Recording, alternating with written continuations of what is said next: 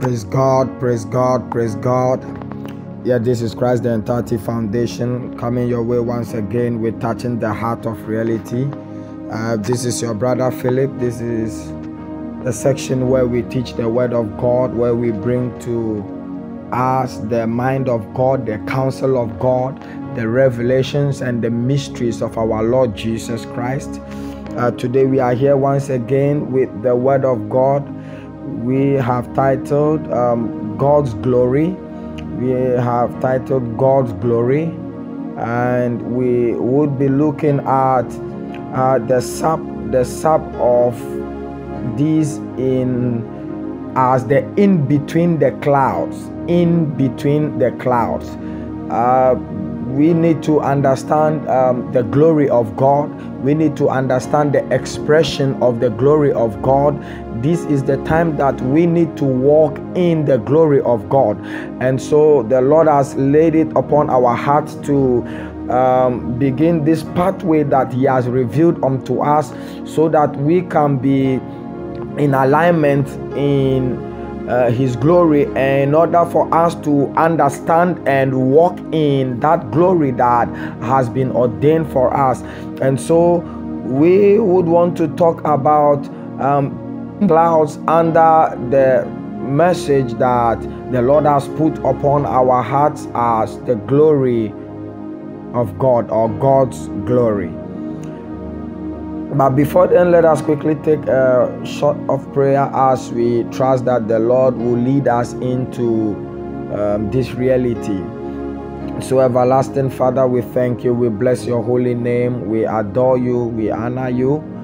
Um, we know that it is you that has kept us and has held us from day one till now. It is because of the beauty of your glory. Precious Lord Jesus, we bow before your throne. It is only thy word that is supreme over us. And so we are subject under your word, O Lord Jesus. We ask that you open the eyes of our understanding by your Holy Spirit and give us encounters even as we go through your word, even as we serve through your word. We ask that you will give us the skills, the knowledge, the wisdom, and also the understanding to grasp that which you are doing in this time and season by your word. We thank you. We give you all the praise. In Jesus' glorious and matchless name we pray. Amen.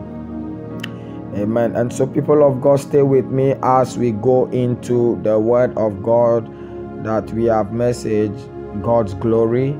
And specifically, we are talking about the in between the clouds in between the clouds. Now, we need to understand as believers that um, there is something that is called God's glory, and I know we all know that there is um, the glory of God.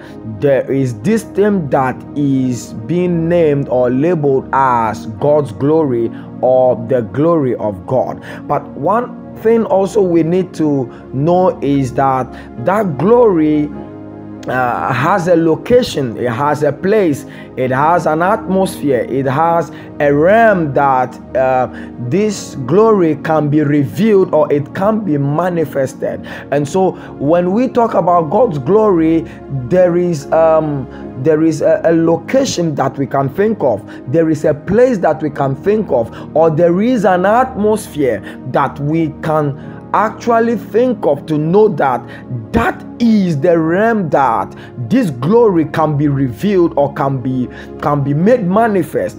Um if because if we do not know this if we do not understand this if we do not have this knowledge it will be difficult for us to trap this glory in our vessels in order to express that glory of God because there is a glory that our Lord Jesus has called us to. He said um, He has called us to a certain level of glory in Him, and so it is the Father that actually did this work in Jesus Christ our Lord and gave it unto us so that we can be the reflectors of that which God the Father did in His Son Jesus Christ our Lord. And so we will go into the Word of God as we navigate through the Word of God that the Lord has laid upon our heart.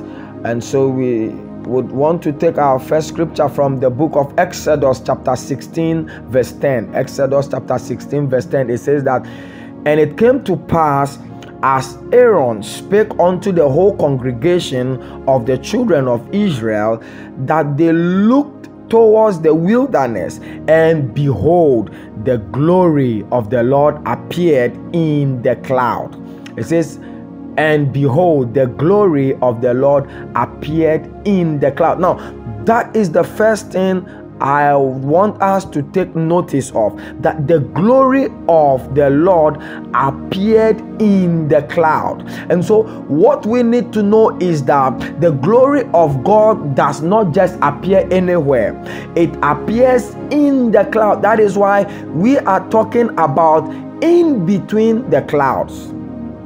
We are talking about the glory, but we are looking at in between the clouds because the glory of the Lord appeared in the cloud, in the wilderness, where God began to uh, lead his people to that promised place that he promised their um, father Abraham. In fact, our father Abraham. And so we need to know that if God's glory will appear, if the Lord's glory will appear, it must appear in a certain atmosphere, in a certain location, in a certain point, in a certain jurisdiction, in a certain realm. And I'm saying to you that that realm is the cloud.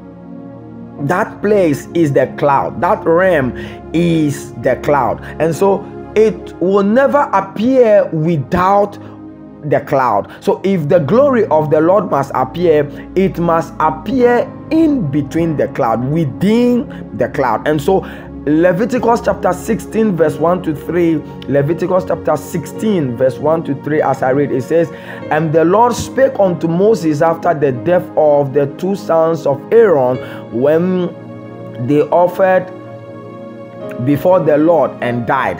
This is because um, the Lord actually expects that there is a way that his priest should come before him. There is a pathway and there is a posture. I mean, there is a heart and the mind that uh, must go before the Lord. We cannot just go before the Lord anyhow. Why? Because God's glory will appear, and when God's glory appear, um, there is a posture, there is a location that the priest must be. For if the priest is not in that place, um, God's glory is is quite intense that it can take the life of the man. Um, that is what actually happened to the sons of Aaron because of um, the posture that they went before the Lord. Uh, this posture was not the right posture, and so it says that, and the Lord spake unto Moses after the death of the two sons of Aaron when they offered before the Lord and died. And the Lord said unto Moses, Speak unto Aaron thy brother, that he come not at all times into the holy place within the veil before the mercy seat which is upon the ark that he died not. For i will appear in the cloud upon the mercy seat. Now you see that? He said i will appear in the cloud upon the mercy seat Thus shall Aaron come into the holy place with a young bullock for a sin offering and a ram for a burnt offering. So, what the Lord is demanding that you cannot come before his presence and for that glory to just appear, you must come with a sin offering and also a burnt offering.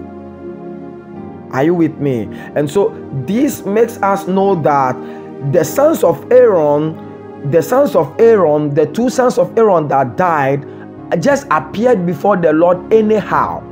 Perhaps they didn't go with um, the sins offering and also the burnt offering because the Lord must accept these two things and then He shows up.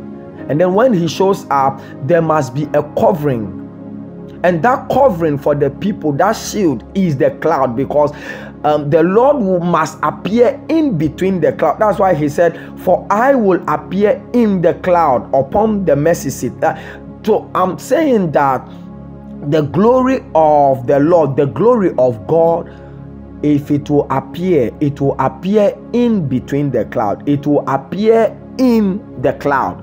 So the glory of God does not just appears, but it appears in between the clouds. So uh, the above scripture shows how God or God's glory appears in a cloud or in the cloud. So God never appears without the cloud. And thus, we need the cloud to experience the glory of God. Do you understand that? So, uh, if a man will uh, experience the glory of God, uh, it will take the cloud. The cloud must come first. It is just like the rain. If any man will see the rain, the, the cloud must, must first form. We must first see the cloud. It means that if the rain will come down, this, these clouds must gather, the rain clouds must gather before it begins to rain, it begins to drops down. So that rain is like the glory of God.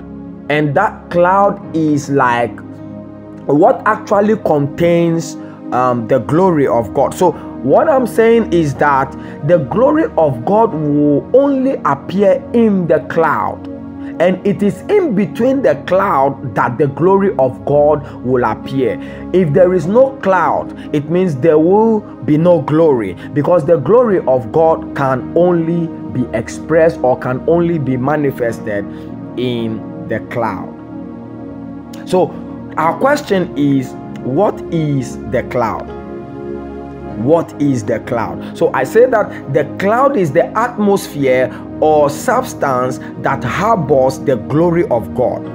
The cloud is the atmosphere or substance that actually contains the glory of God or harbors that is like the habitation of the glory of God, the atmosphere or the habitation or the realm that can actually contain or can actually um, harbor or actually um, brings the glory of God.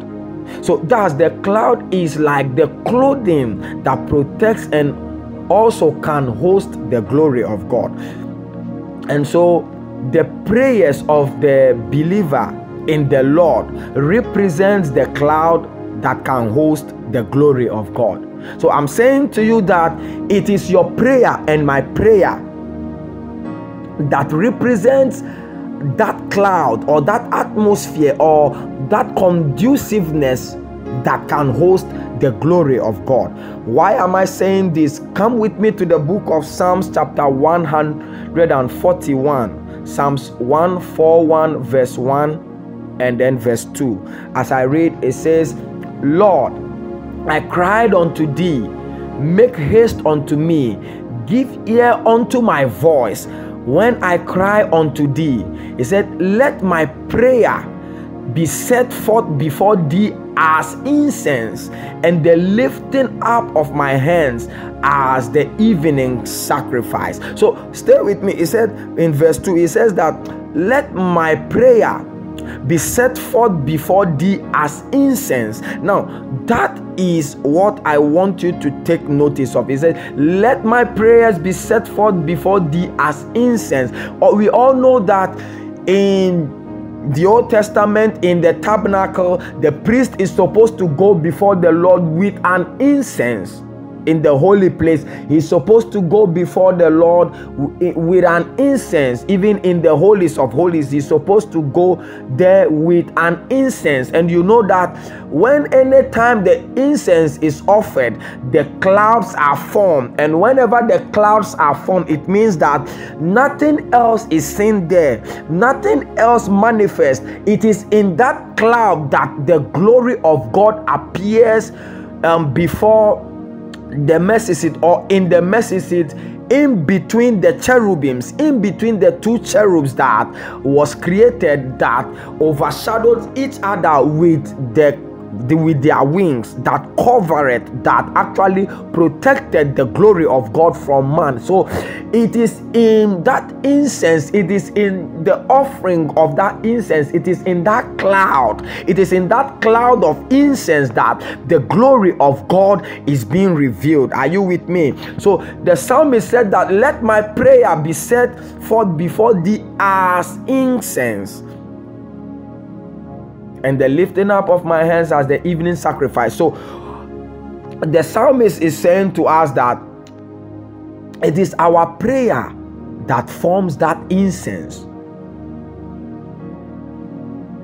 Are you there? So now, Luke chapter 1, verse 9. Luke chapter 1, verse 9 to 10 says, According to the customs of the priest office, his lot was to burn incense when he went into the temple of the Lord, and the whole multitude of the people were praying without at the time of incense. So, do you see that? So, the above scripture, the above scripture reveals how the prayers of the saint or the believer is as the incense which is the cloud that is burnt or offered in the holy of holies or even in the outer court or in the holy place. So i'm saying is that i'm i'm saying that it is the prayer of the saint or the believer today that is as the is as the incense of the lord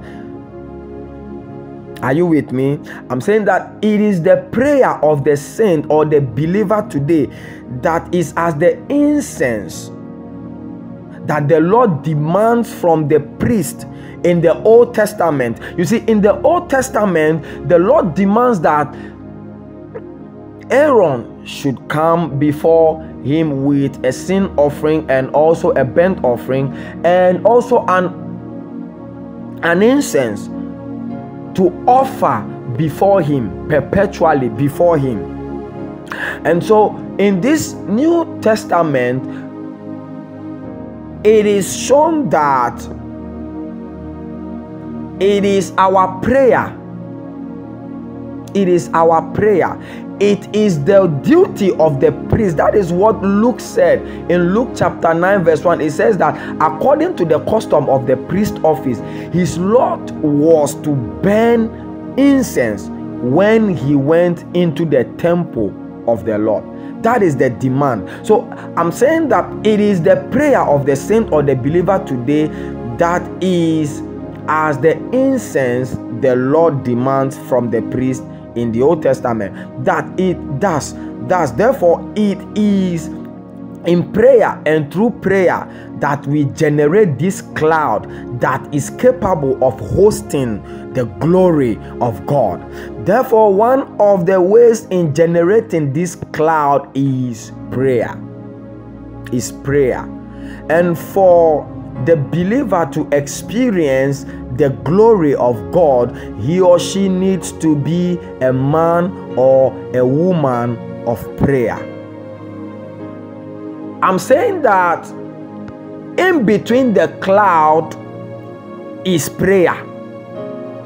Clouds to be formed, there must be prayer for that cloud to gather, there must be prayer. And we also saw that there is no way God's glory will ever appear without the cloud because it is in between the cloud that God's glory can find expression. It is in between the cloud that God's glory will be revealed. I'm saying to you that it is in between the cloud that God's glory can be manifested because it will never shine forth. God's glory will never bright. God's glory will never be seen without the cloud. And so I'm saying to you, ladies and gentlemen, that you must be a man or a woman of prayer to see the glory of God, to manifest the glory of God, to experience the glory of the Lord Jesus Christ. So we must be priests. And we know that in Luke it is revealed to us that it is our lot to burn incense. It is our lot to go before our Lord, before Him with prayer and in prayer and with all things. We know that we pray so that we can see the glory of our Lord. Praise the Lord. And so I'm saying to you, ladies and gentlemen, that it is in between the cloud, it is in between prayer. It is our prayer that generates this cloud. And it is you and I prayer that these clouds can be formed. That is why we are talking about God's glory, but we are we are saying that in between the cloud. And that cloud is the prayers of the saints. And in between the cloud is where the glory can be revealed or manifested. Praise the Lord. And so, people of God, um, we are saying to you that for we to experience God's glory, it must be in between the cloud. In between the cloud. And so, Father, we thank you. We give you all praise. We give you all honor. We thank you for us as kings and even priests before you. We know that it is your work that you are doing in us and through us. We also ask that you activate our priesthood by prayer and through prayer so that in it, in between that cloud, we can host your glory. We can host your your glory. We can manifest or experience or see your glory. And so we thank you for this word. And we also ask that you will activate this word upon our hearts so that we can um, actually experience this reality that is in you and even in your word. We thank you. We give you praise. In Jesus' precious and mighty name, we have prayed. And all the saints of the Lord said, Amen.